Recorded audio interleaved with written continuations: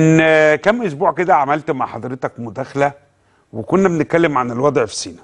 نعم. حضرتك طرحت فكرة أكثر من رائعة. نعم. وهي تتعلق بالدوري الممتاز.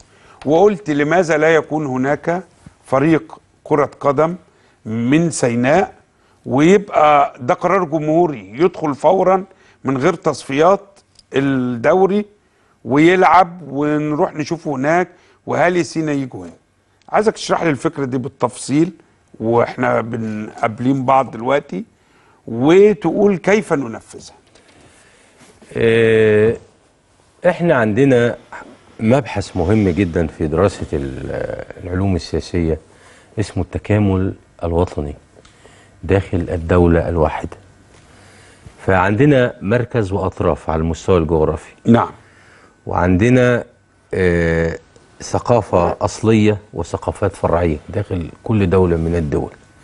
ولا توجد دولة في العالم تتمتع بانسجام تام في العرق ولا في اللغة ولا في الدين ولا في الطبقة. هذا من سابع المستحيلات. لكن الدول تنصهر بأدوات ناعمة للانصهار وليست طرق إجبارية وقسرية لأن هذه الطرق لم تجدي نفعا. بدليل أن العراق على سبيل المثال أو سوريا أو ليبيا دي نماذج لثلاث دول. كانت دول موحدة متماسكة بالحديد والنار. نعم. مجرد ذهاب الأنظمة المستبدة إما بالاحتلال في الحالة العراقية أو بالانتفاضة في الحالة السورية والحالة الليبية وجدنا أن الدولة على شفا التفكك. فالدولة المفروض تقوم بما يؤدي إلى الاندماج الطوعي. نعم. لأشتاتها الوطنية عبر إجراءات ناعمة. يلعب التعليم فيها دور الثقافة فيها دور الرياضة أيضا فيها دور. فأنت يلفت انتباهك مثلا أن الوادي الجديد ليس له فريق في كرة القدم في الدوري الممتاز. والمرسى مطروح أخيرا فريق الرجاء. سينا بلا فريق لكرة القدم شمال وجنوب سينا كل هذه المدة. تخيل لو أن أسوان والنوبة وحلب وشلاتين مثلا. إيه، لكن في في حالة ال ال ال ال ال أسوان والنوبة إيه، أو في حالة أسوان ال- المسألة أشد إيه، أقل وطأة نتيجة نعم. أن هناك عوامل أخرى للدمج. نعم. زي مثلا ال- السياحة الثقافة آه مواصلات. المواصلات الذهاب والإياب. يعني في عملية ال الإندماج القبلي أحيانا موجود. لكن آه، فيما يتعلق بسيناء الوضع مختلف تماما إن من الناحية الجغرافية سيناء الجزء ال- الموجود في آسيا من مصر.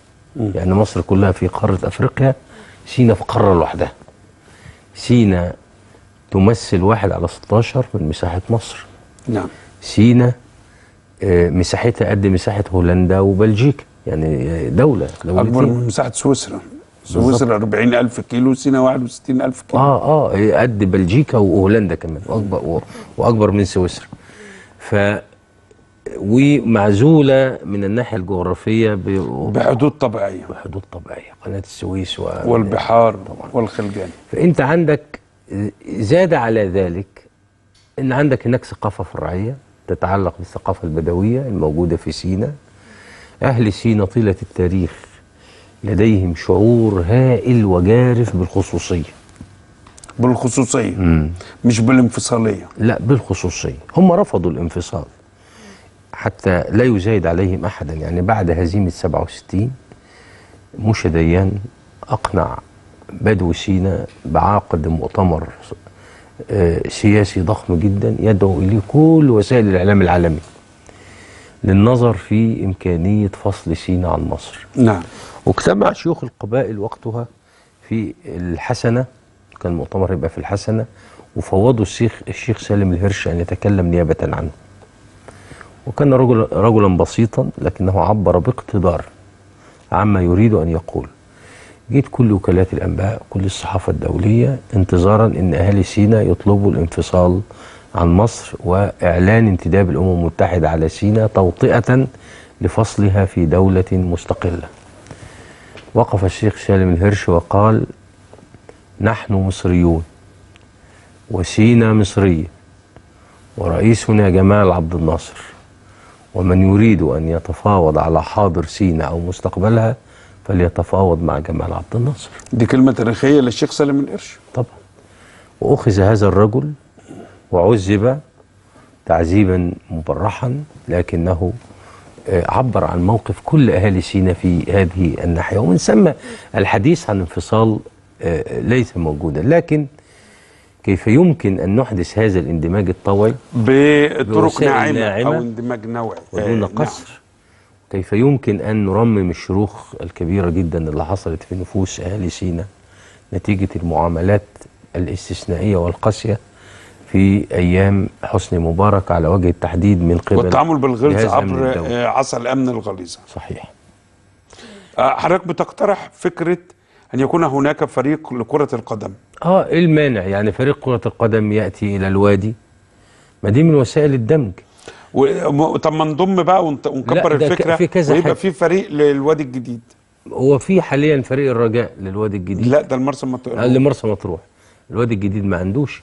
بس برضه الوادي الجديد القصة عندهم يعني أقل آه، وطأة من- وطأ من خاصة. انه عدد سكانهم 200000 سينا هتتكلم مشروع على حدود الوادي. إسرائيل آه، بقعة جغرافية مستهدفة منذ نعم. زمن طويل استف- است- استهدفتها إسرائيل ولم تتنازل عن استهدافها حتى هذه اللحظة الأسباب تخصها والآن أصبحت مستهدفة من تنظيم إرهابي متطرف يريد أن يقتطعها من الجسد الوطني ويعلنها إمارة إسلامية حسب ما يريد.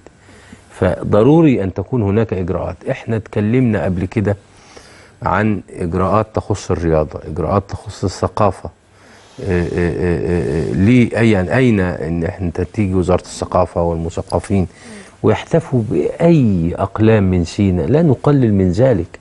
أنا لو طلع عندي في الوسط السيناوي في شمال وجنوب سيناء عشر كتاب للرواية أو شعراء أو نقاد أو كاتب صحفي أو, ما- كات ما أو كتاب صحفيين.